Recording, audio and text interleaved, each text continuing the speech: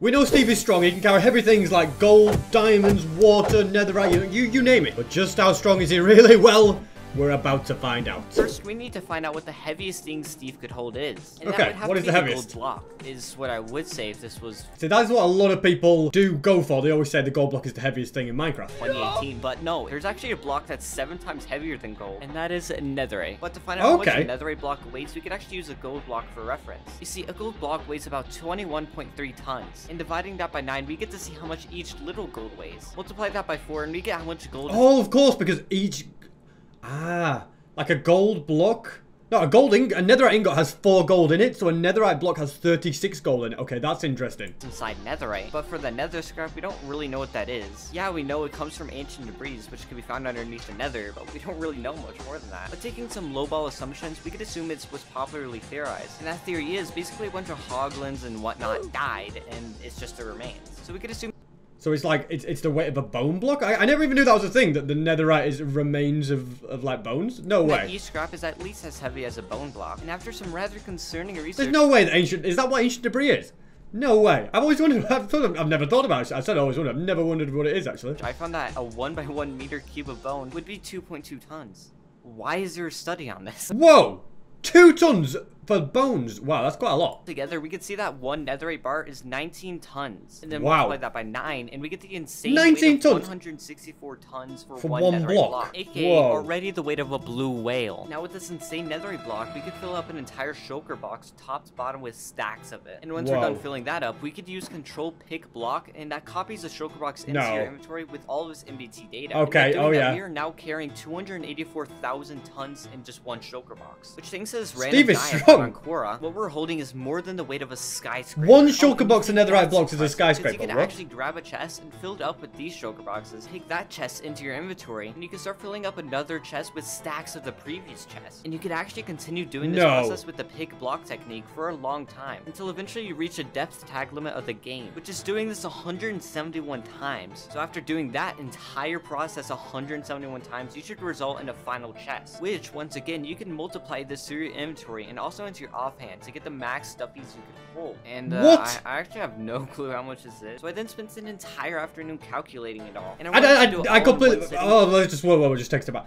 I did not think about the fact that you could, over and over again, copy what is in a chest with the NBT tag so the chest has it in.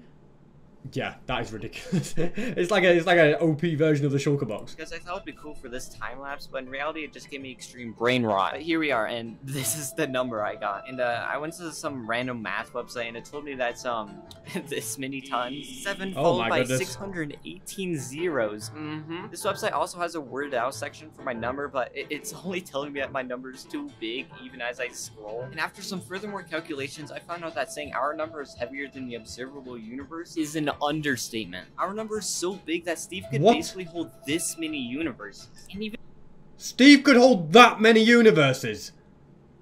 The universe, uh, last I checked, is a pretty heavy plate. Wow, okay. Steve might be the strongest character that exists ever created. This number is so big I can't even visualize it. Going back to the one website, it basically says I had 667, 188 illion mini universes. I don't even know what that number is. That Steve Wow. could just carry around. But another thing is, the Minecraft Earth is different than our Earth. It means that the gravity that Steve experiences is different than the gravity that we experience. And this could affect that how much he feels his weight. There's different gravity. I paused it an unfortunate time. There's different gravities. I never even thought about that, but yeah, I guess it would make sense. I set up this experiment to determine how strong gravity is by determining the sand's rate of itself. By the way, guys, you'll never use maths at school. Okay, this guy proves that wrong. Everything you use learn at school actually might come in handy for Minecraft. Now all I gotta do is press this button and... Ah, so I don't need to do my...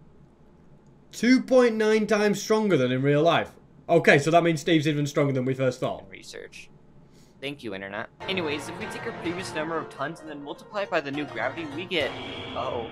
Oh no. A number too big. Ross Strayant's conclusion. Steve can hold the entire multiverse. Okay, cool. Now that you're beginning to understand just the stupidity of how strong Steve is, let's head over to speed. To start off, I built a 100 block race course to see So we've got his we, we've got his strength. We know that he is he can hold literally the entire multiverse, pretty much.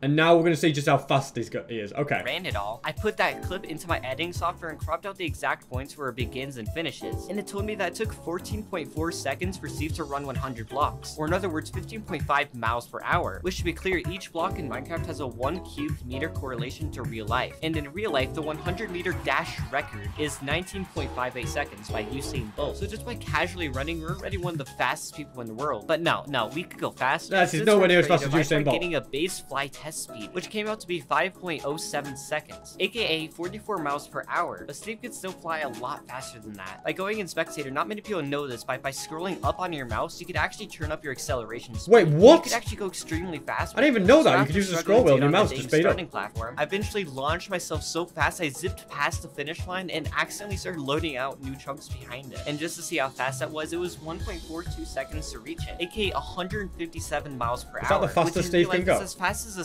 skydiver going headfirst out of a plane. But now we reached a point where there's only one way to go faster. Drugs. Get the old, uh, get the old speed bumps In out. Minecraft, as we all know, there are potion effects. When splashed with one of these Speed 2 potions, I was we gonna use commands to make it even speed faster. increase, But that number is nothing. By doing slash effects, you can actually boost yourself up with speed 255. But I noticed in order to test it, we need a better runway than this small dinky thing. Yeah, too- So too small. Make a bigger you to runway. The considerably larger version, which I built a 10,000 block track for, and only cuts through staggering five goddamn villages because my dumb dumb head. He wasn't getting rid of the villages, he just was this going straight through. was track off with a golden pad to stop me. So by going to the beginning of the track, I gave myself speed and I began running. As you can see, we're actually running so fast, the road is struggling to load in. So I put on chunk borders so you can get more of a sense of scale. You can also see Wow. the ridiculous speed of the Uh, is the chunk loading slowing him down But then? once I reached the finish line, I threw the clip into Premiere Pro and it ended up taking 34.15 seconds. And after doing some brief calculations, it What? up being 655 He could go miles per hour, which is 655 miles an hour. the speed of sound. We are casually walking faster than a literal plane. But the thing is, you could still go faster than this. In How? Minecraft, you could actually slash attribute your speed to becoming your new base. But unlike the speed effects earlier that cap out at 255, for this we could just yeah. And now there's with no just limit? one little click of the W key, I immediately run off the course of the entire face of the Earth. And eventually I just lag backwards a few thousand blocks because my PC can't handle it. Look, if I hold down W and continue running, my PC absolutely No way. destroys itself. I didn't know you could go this The fast. fan's going off. But if I try it again, this time with my coords open, you can see we launch about 10,000 blocks and then we begin slowing down due to the lack of ground underneath us. But by looking at this footage frame by frame, we could actually see a few numbers. So I recorded them down on a graphing calculator and you can see I actually start slowing down right after the first frame because by then I've already fully ran outside the blocks rendering around me. Meaning in the 0.01 second I was able to touch ground, I ran 1,003 meters, which is the What? equivalent of 223,000 miles per hour, which is This is getting more and more mind-blowing. as a human Steve is we have came close another to level. to. With this speed, you could literally run around the entire Earth in just six minutes. But if that's too slow for you, there's still slash TP, which allows you to instantly Goku teleport anywhere you want. Now you may be Yeah, I don't even- we can't class Steve TP as speed, can we? It actually doesn't. Here's the thing, there's actually a limit to how fast you can teleport. In Minecraft, the slash teleport command takes exactly one in-game tick to register, which is 1 20th of a second, aka 0.05 seconds. But now we need to find out the max distance we could travel within that 0.05 time frame. And using the Pythagorean theorem, we know that the longest line that could fit within a cuboid goes from one corner to the opposing corner. Oh yeah, you know I'm going nerd mode when I introduce a high school math subject. Although lots told you of coming people still think that the Minecraft world is infinite, it's it's not. The border's at 29,999,983 blocks in each direction. But you could also teleport an additional 16 blocks beyond that given point. So sure, we could teleport from one corner to the other 100% as far as you can get? Can you not, like, glitch out further?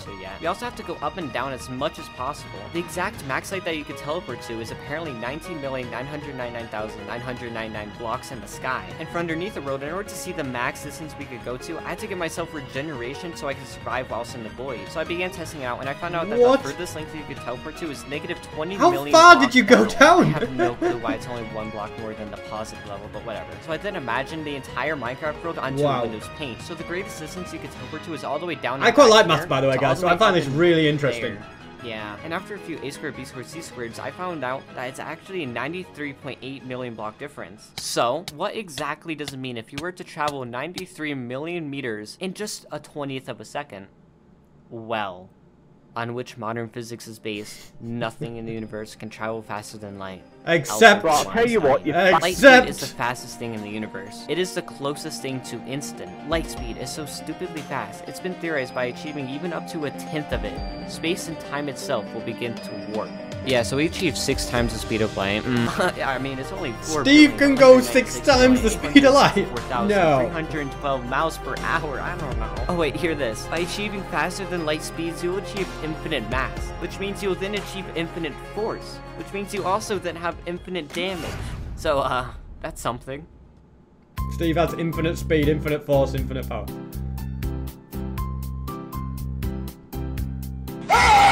I mean, Wow, uh, Steve is I- fast. I haven't What's the next? Uh. I the next to thing hurry we're gonna this test video out? up. Okay, now moving on to durability. So you may think that Creative Steve is actually invincible, which is mostly true. Things like the Void, as I said earlier, are easily survivable with just some regeneration. So, just to make it somewhat fair, we're going to use Survival Mode Steve for durability. But first, we need something that Okay, can so yeah, taking my crib, Survival so Mode Steve is being used, okay. life. And for that, there is TNT, that thing that also exists in real life. Now, although it is a one cubic meter literal bomb, that doesn't actually mean anything. We need to find out how much damage. Why is he killing baby villagers? explodes. So I created a custom world just made out of stone, and I dug into the ground to make this giant stone wall. And what I did is I made a little tunnel inside the giant stone wall, spawned in a piece of TNT, and then quickly patched it up. Then once the TNT goes off, I could go into Spectator, and I could start seeing how much stone the TNT actually blew up by how much cobblestone it broke. I then repeated this process nine more times, and I put all the numbers onto an average calculator. Yes, I use a calculator to find the average. It's more time efficient, okay? It And is more told me time that efficient. 30.9 was the average stone broken per TNT. Now, thanks to some Elon Musk ascendant on Reddit, they calculated how much joules of power would be needed to destroy a 1 cubic meter cube of limestone. So this is how you convert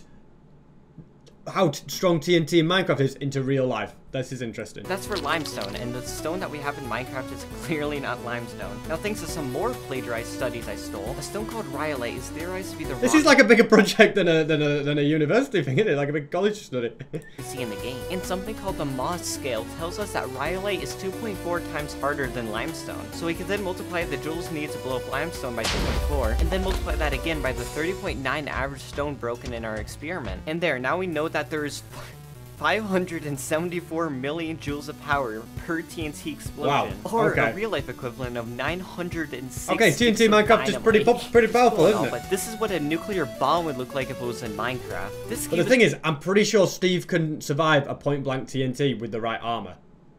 Now, is it going to test him with max armor? We will see. is filled up with 8,000 blocks of TNT, or in other words, 4.59 trillion joules of potential energy. And now I'm gonna light it on myself. Wait, did Steve survive it?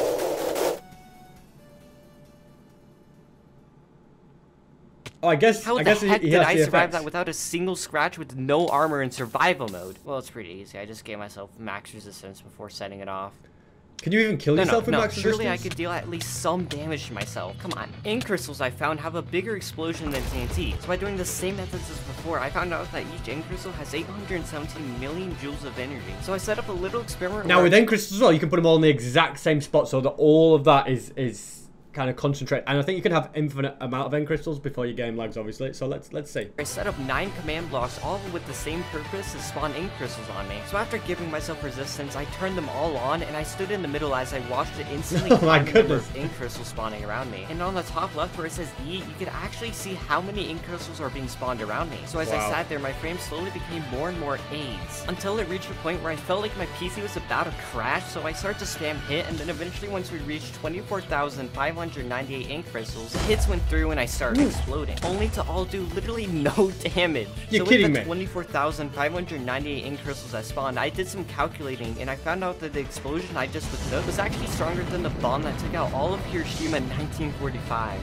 I don't feel good saying that. And that's still without even using glitched OP armor or super strong attributes. I don't understand. How strong is Steve with resistance? Oh, Steve is invincible past only resistance 5.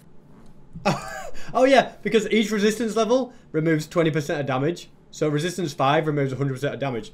Okay, yeah, that makes sense. Steve is literally immortal? Yeah, Steve's immortal. Wait, does that mean he's immortal in the end in the void as well with resistance? He must be. Wow, okay. Resistance 5 and he's immortal in the thing. What do I even say anymore? If you made it this far and you still aren't convinced that Steve could destroy 99.99% of fiction, I'm just going to speedrun a few more insane things Steve could do. So to test strength, I recoded the Warden's HP from 500 to this number, which is 10 to the 305th power times 5 of the Ender Dragon's HP. And with just strength alone, Steve could literally one-shot you this kidding with his fist. Oh, and Infinite just for the fun of it, let's turn this infinitely strong hit using attribute into this, which it may not look like much, but I'm actually hitting an infinite amount of times every second. And just to show you how stupid this is, I made an entire pool of these stupidly strong wardens, and I jumped in and I immediately defeated them all with ease. Oh, and with the execute command, you can actually go between dimensions, making Steve interdimensional, or multiversal Oh, yeah. by just joining other worlds and servers. And Steve Multiver- can also yeah. bring his items too using the saved inventory feature. Possesses time manipulation with slash time. He could literally just do a quick command to create world-eating barriers. He has access to the secret Minecraft item known as the Knowledge Book, which allows you to know all the crafting recipes. Can alter matter itself. That's what the knowledge book does. What? Why did I never know that? Honestly, Steve is that powerful. There, there is nothing. Or is it Just we are the destroy it all with player so powerful? Oh for height, not only is he six foot two, on the Bedrock version of the game, you could do slash play animation, and you could literally make yourself a giant. He could create literal I didn't know nukes with fireballs. He could literally slash summon anything. Or if he doesn't feel like doing that, he could use glitched eggs to summon other things. I know this looks extremely He could cursed. summon eggs. I didn't know really needs so we could just use a command block to instantly kill everything around him regardless of durability. Yeah, so not only is Steve strong, but he is a literal god. So what Kratos could flip nine realms, Steve could literally hold the entire multiverse. Doomslayer could resist getting shot with the BFG 10k, but that's still nothing compared to infinite durability. Oh, but Goku could teleport at the speed of light. Well, guess what? Steve goes six times the speed of light. You get what I'm getting at. Steve should be able to destroy anyone and everything in There is nothing more powerful than Steve like and that's So ever been thought of by anyone. that creative Steve is overrated or weak ever again. Wow. Steve is very, very strong and powerful.